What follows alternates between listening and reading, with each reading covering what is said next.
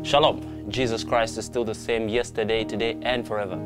Innocent Java is my name, the son of Prophet Passion Java. I've made a personal decision just to rise up to the occasion and be the voice of wisdom, especially to our young generation today.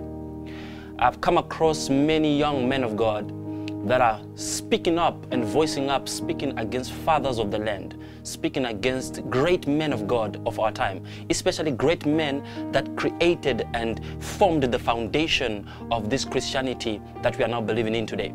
As I was reading my Bible from the book of Numbers, chapter number 11 to verse number 12, I came to understand the story of Miriam and Aaron. The Bible says in that time the Lord had spoken that no man should marry from Ethiopia.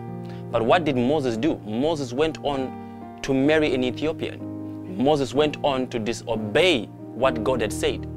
Miriam and Aaron, in good faith, opposed what Moses had done in good faith. Actually, Moses was wrong in doing it. So Miriam and Aaron went to him to correct him. But the Bible says, and the Lord came down and he said, Were you not afraid to speak against the Lord's anointed? Who are you to correct my main servant? Immediately, the Bible says Miriam was struck by leprosy. This is a lesson that every young minister out there need to understand. This is a lesson that every Christian needs to understand. If it comes to issues that are higher than you, you'd rather keep quiet. If there are matters that has nothing to do with you, reserve your comment. Rather, pray for the man of God. Pray for the prophet. Rather than putting a comment that will make your generation cursed for generations to come. To those that are speaking against men of God today, are you not afraid to touch the Lord's anointed?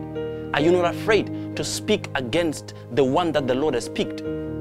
For you to live long, especially in this life, if you are a young minister or if you are a young man or young woman out there, avoid speaking against men of God. Avoid speaking against the Lord's servant. Avoid speaking, touching where the Lord has anointed. I believe this has helped you and I believe this has encouraged you.